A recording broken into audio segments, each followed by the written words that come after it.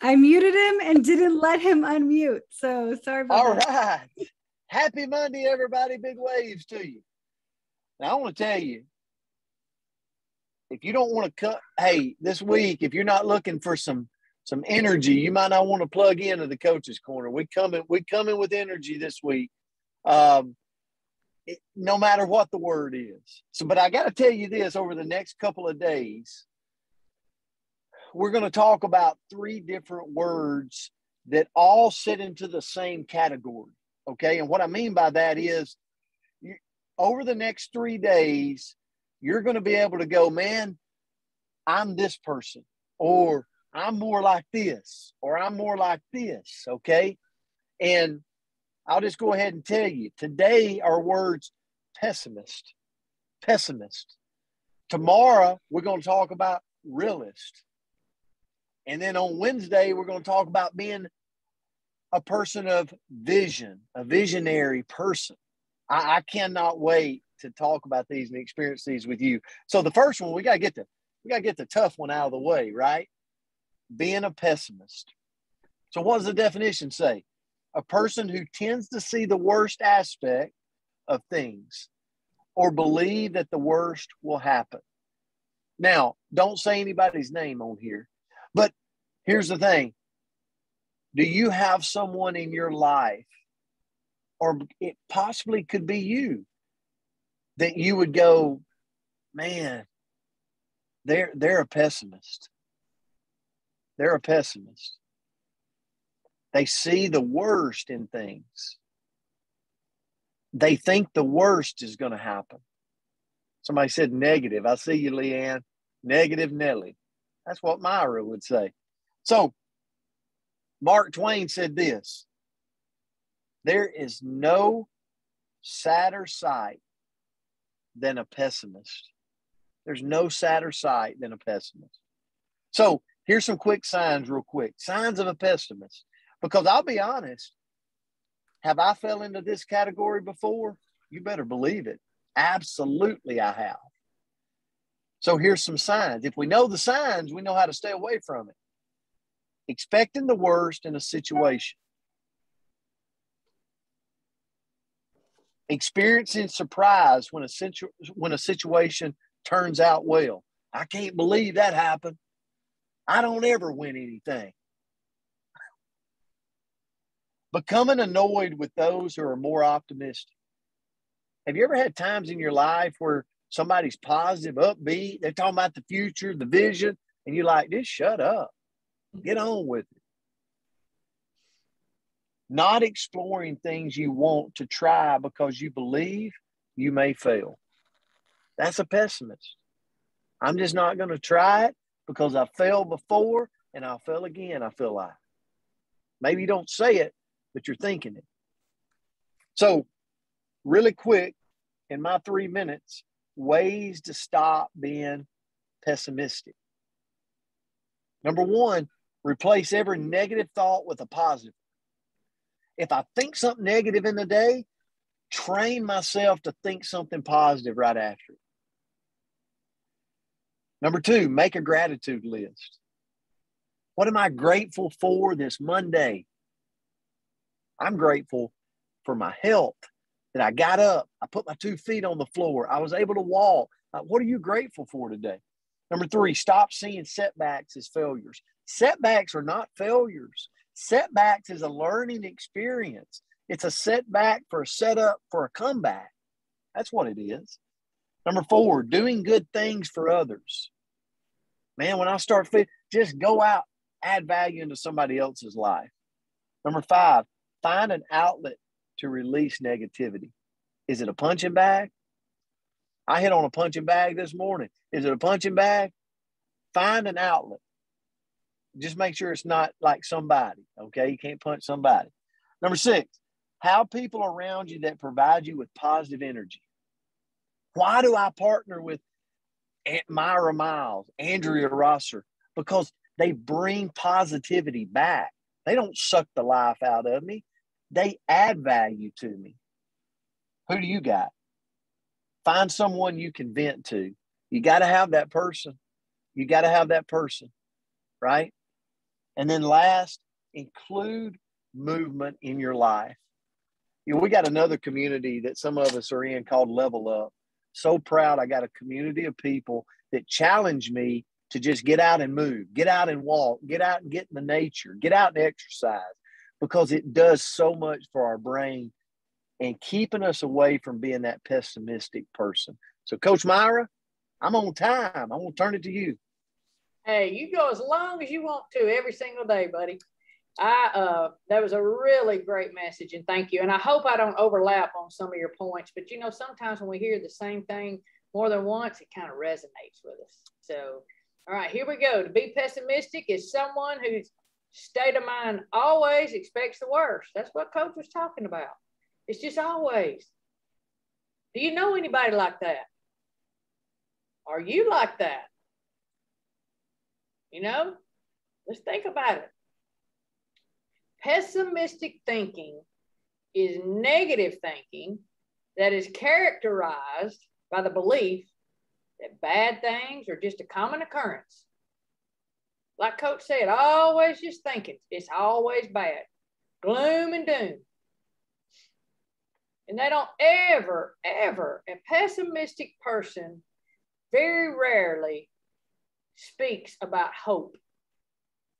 It's all just gloom and doom. As someone said a while ago, negative Nelly. A pessimist believes that all bad events are just all coming. Again, do you know people like that? Are you a person like that? Honestly, we've all had our pessimistic moments. You know, when I'm asking you, you know, this question, heck yeah. Have I been a pessimist before? Oh my God. I'm gonna sit here be lying if I said I had. I, that's I think it's human nature that we have that in us sometimes, especially when the frustration mounts. When we feel like we've done everything that we can and it's still nothing happens. Then here comes that old pessimistic head out, starts yapping, starts getting in our ear. So yeah, it happens to all of us. And it's okay to say that. It totally is okay. So, how do we stop being so pessimistic? The simplest way is to get out of this and get out of our own head. Get out of our own head. Bring positivity into someone else's life. Notice I didn't say into my life. I say bring it into somebody else's life because I don't know if you're like me, but if I do something for someone else and it brings them joy, oh, it's on. Myra is happy. And I think everybody here understands that. Pass it on to someone else. So, do you think you're a pessimist?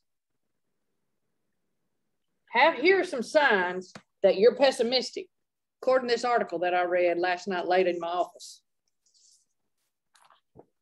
First of all, you might be a pessimist if you think you're not a pessimist. you know, I love simplicity. And that's just flat out simple. You don't think you are, guess what you might be? And you also, if you find boundless optimism boring, you might be a pessimist. Man, some of my favorite people in the world, like Brent was talking about, it, it it's it, it, it does me so much good to be around Brent, Andrea, to hear all of y'all smiling, see all your smiling faces, and hear all the positivity. A pessimist thinks that's boring. You're not necessarily negative if you're a pessimist, but negativity comes easier than positivity. And that, my friends, if that's the case, that's just a trained trait that you have allowed yourself to get into. If you're a pessimist, optimistic people annoy the crap out of you. Well, you know what I say? Annoy the crap out of people today. Okay? Get on them. Be happy. Be optimistic. And here's another one that I want to end with as far as the signs. You might be pessimistic if you find negative, even in the good. You know, and again, I have been guilty of that. So think about those points right there. So we need to do a self check daily to make sure we do not fall into the pessimist category. Our focus every single day, y'all, should be guided by optimism, not pessimistic thoughts. So I'm going to leave you with two quotes. First one is from William James Pessimism leads to weakness, optimism leads to power. I love that. And the last one, I, I could not find who this quote was from, but I loved it. An optimist breathes life into you every day. A pessimist will drain you. Stay away from the pond drainers, the people that drain you. Stay away from them. So, what will you be today? My guess is you will not choose being pessimist. I love you. Y'all have a great day. Coach, when I heard the when I when I read your notes, I said this is going to be a good one. this is going to be a good one. So good that I had a conversation with somebody this morning, and I said, "Oh my goodness, it is beautiful outside today." And they said, "Well, it's a little cold." And I said, "I'm going to send you a text because you need to get on the coach's corner." So I hope Amen. they're here this morning, and if you are, I'm speaking to you. Yeah. All right. this word speaking to you. So uh, as we close today, Coach Myra and Andrea, I want to give away a book that I'm actually doing in the gym in the mornings. Um, and we're right now, right now, we're focused on what? Setting ourselves up for 2022, right? I love December because December comes with a lot of great things, but it also comes with preparation for setting your next year up. And there's a book out by James Clear called Atomic Habit.